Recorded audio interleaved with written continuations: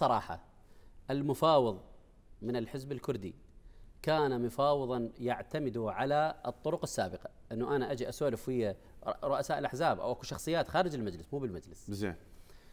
وأنا أجي, أجي مطمن يعني كل ساعة جروا لهم نائب على صفحة كل ساعة حكوا وياه وإحنا تكلمنا وياهم بكل صراحة. أن أن اللي يتحمل الأذية هم النواب لا يتحملها الأخوة قادة الأحزاب أو كذا أو إلى آخره.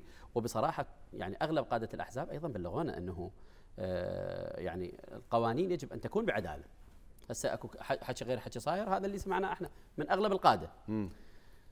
اللي صار إنه رادوا يستخدمون نفس الأدوات ويحققون نفس النتيجة وهذا ما جاي يصير إحنا إحنا تكلمنا وياهم بصراحة مم. الأخ الحلبوسي رئيس المجلس تكلم مع السيد فؤاد حسين ساعة يمكن ثنتين ونص بالليل وجاء بمبادرة من آه، سيد فؤاد حسين انه إنه إحنا نريد من عندكم اطلقوا لنا الرواتب وإحنا راح نسلمكم النفط والمستحقات وكذا اعتبارا من 1 1 2021 صراحة آه، لم تكن لدينا ثقة لأنه إحنا لدينا مواد بالقانون ما ما اشتغلت. أنا أجي أعطيك من واحد واحد شنو السبب؟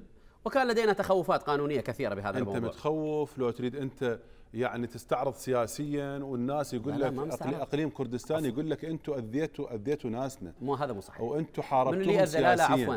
هذا الخطاب اللي خلاني أطلع وياك اليوم. بحيث أنه السيد, السيد البرزاني قال إحنا إحنا عندنا خيبة أمل. لا يقول إحنا طعنا بالظهر وهذه للأسف الشديد أنا قلتها وبخطاب رسمي وببيان رسمي. ما استمعنا إليه بالأيام الثلاثة أو الأربعة الماضية. من قيادات كردستان وقيادة أربيل بالذات.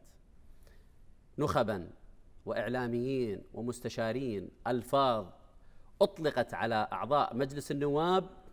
للأسف الشديد لا ترتقي إلى مستوى أبناء الشعب الواحد اولا.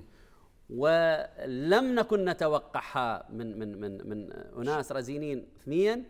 وثالثا أغلقت كثير من الأبواب كانت مفتوحة للأيام القادمة.